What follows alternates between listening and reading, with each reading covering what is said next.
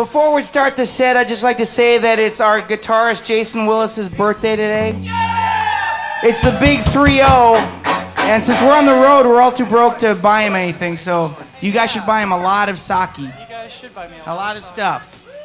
If you don't, you suck. You're fucking heartless cretins. Cretins?